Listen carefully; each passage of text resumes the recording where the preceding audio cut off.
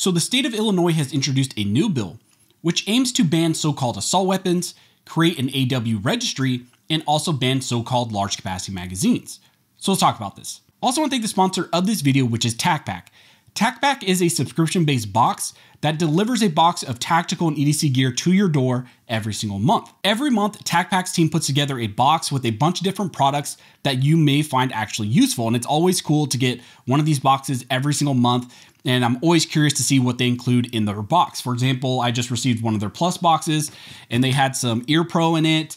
Um, they had a couple shirts and a bunch of stickers uh, mag carrier, some Eye Pro, uh, various muzzle devices, knives, etc. So you can get a bunch of random goodies in your box and a lot of things that maybe you wouldn't have bought for yourself. But every time I open one of these boxes, I'm really excited to actually get some of these things. And right now, TacPack is doing something really cool for my viewers.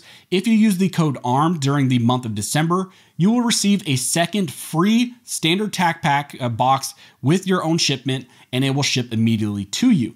So I will leave a link to TacPack down below and also in the pinned comment section. Don't forget to use that code ARMED, and also thank you again to TacPack for sponsoring this video. As I mentioned in the intro, in this video we will be discussing how the state of Illinois has introduced a new bill which aims to ban the purchase, possession, and sale of so-called assault weapons, and also ban the purchase, sale, and possession of so-called large capacity magazines, and also aims to create an assault weapon registration. The bill we're going to be talking about in this video, which has been introduced, is House Bill number 5855. HB 5855 is also known as the Protect Illinois Community Act. It's a bill which will ban the manufacture, possession, purchase, and sale of so called assault weapons, and also will ban any magazines that hold more than 10 rounds. However, this bill does not stop with just banning rifles and magazines. It also aims to create an assault weapon registration and also will try to raise the legal age of gun ownership from 18 years of age all the way up to 21 years old. So let's take a look at HB 5855 and what this language is attempting to do. So first, the bill will make it illegal to manufacture, deliver, sell, or purchase an assault weapon, an assault weapon attachment, 50 caliber rifles, or 50 caliber ammunition. For the purposes of this bill, it first creates a specific list of makes and models that it defines to be so-called assault weapons and pistols as well.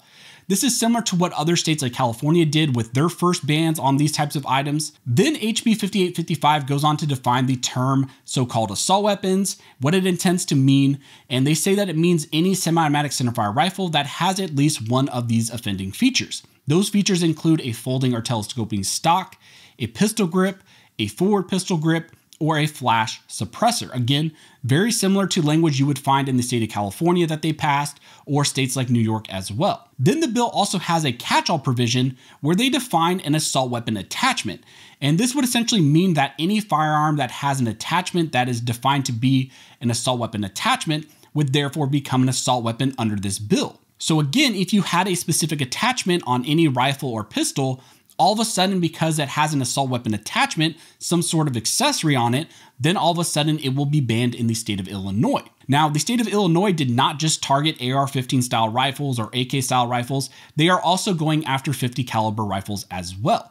Under this bill, there will be a future ban on the purchase and possession of 50 caliber rifles and also ammunition because although we're going to talk about some grandfathering provisions in this bill later, there is no grandfathering provision for ammunition and also there is no sort of an exemption for the average person to be able to purchase 50 caliber ammunition. So really, you may be able to keep your 50 caliber rifles, uh, these things chambered in 50 caliber, but really they would just become a really expensive paperweight. Now, as I mentioned, like always, these bills try to win over hearts and minds by including in some sort of grandfather provision.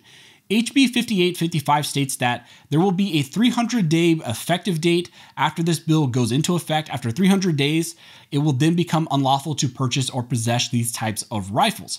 The caveat to all of that is that if you purchase or possess one of these rifles or pistols or shotguns before that effective time period, then that firearm could be grandfathered in, but you're going to have to register it with the state. So the state of Illinois is grandfathering in these firearms, but then you will have to pay a $25 fee, and then you will have to place that firearm that's in your possession on a registry that will be an assault weapon registry with the state of Illinois. And the consequences if you violate the law if you don't adhere to these types of restrictions, you would get at least a class 3 felony. And again, that has serious criminal penalties attached to it in prison time as well. So, if this bill passes, the future possession and purchase and sale of standard AR 15s and AKs will become illegal. The only caveat to that, again, is you can keep possession if you decide you want to register those with the state. But like I mentioned, this bill does not just stop with a ban on so called assault weapons, it also attempts to ban the possession, purchase, and sale of magazines that hold more than 10 rounds. Under HB 5855, it will be illegal to buy, sell, or possess a magazine capable of holding more than 10 rounds. This prohibition also impacts belts, drums, feed strips, or similar items that can be readily converted to accept more than 10 rounds. Now, in this portion of the bill, it's important for me to note that the state will not, in fact, provide a grandfathering provision, so these magazines that are currently in your possession will not be grandfathered in. The only options you really have would be to likely permanently alter those magazines so they can only accept 10 rounds, or to have to destroy them. But as if an assault weapons ban, an assault weapons registry, and a magazine ban wasn't enough, HB 5855 also is now seeking to increase the legal age of firearms ownership in the state of Illinois from 18 to 21. Recently, we've seen various federal lawsuits where courts have struck down these types of age based restrictions, but Illinois wants to now try their own hand at these age based restrictions, so they're trying to change the legal age of ownership from 18 to 21. There are some exemptions for people who are 18 to 20, where maybe you could be in possession and use these types of rifles if you're in law enforcement or maybe if you're in the military.